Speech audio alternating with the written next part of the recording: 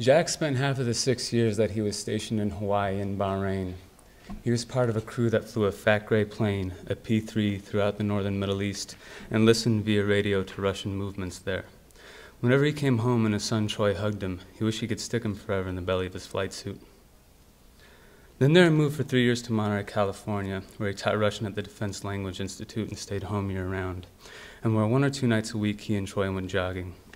They set out from the base, which was atop the ridge that held that corner of the bay, and headed down to the beach to the tiny adobe downtown. They discussed the cars they wanted, or Troy went on about whatever team he was on, or they talked about whatever he was learning in school, or they talked about Tolkien.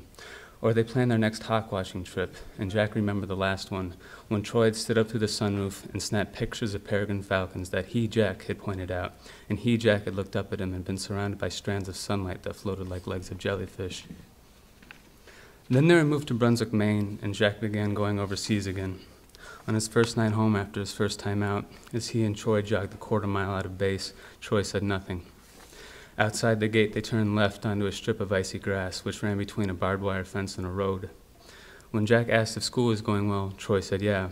When he asked if he had made any friends yet, Troy said yeah. What were their names? He said. They were just guys from basketball, Troy said. Cool, Jack said. Then he asked if they were going to make the playoffs, and Troy said he didn't know. And Jack saw two cold streetlights out in the aqueous dark. You seem a little quiet, he said. Troy said he was just tired. You sure, Jack said? Yeah, Troy said. When they came into the cheddar colored light, Jack moved his hand as though he was moving a chess pawn, but Troy said he had homework. Jack watched him go upstairs, and then he joined his wife, who was standing smoking out on the screened in porch by the orange sliding glass door, her face etched out of the darkness. Her smoking sweatshirt was one of his old sweatshirts, and after sliding the door shut, he pulled on another one of his sweatshirts from the back of a chair. You didn't tell me he got quiet. What do you mean? I mean, he's all sulky. Was he like that with you when I was gone? What are you talking about? I mean, he's all sulky. He's always had a moody streak.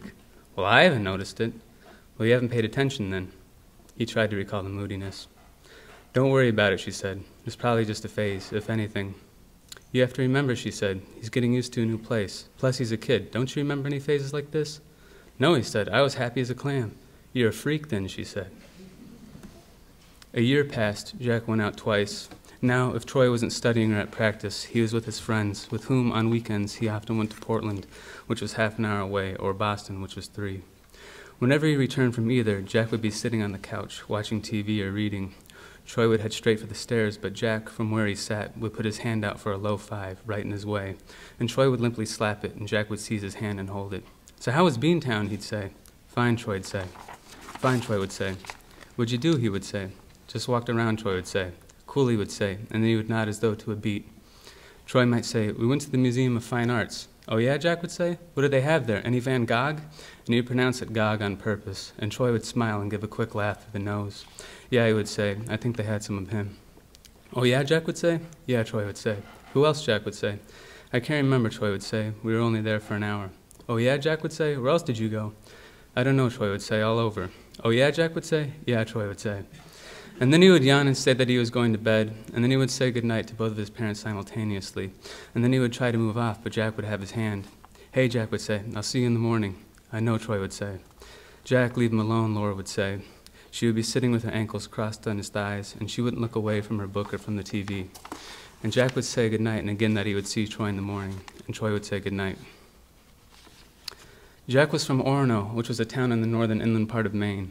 Since he had joined the Navy, he had hoped that if he was ever sent somewhere, he'd have to leave a lot, so pretty much anywhere but Monterey. It would be Brunswick. He had known that there was a good chance because there was only a handful of spots in the nation for Russian CTs, or cryptological technicians. When he was moved to Brunswick, which was on the coast, his father lived three hours up the coast in a small town past Bar Harbor, and his brother lived in Portland. A few summers after the move, his father died of an aneurysm.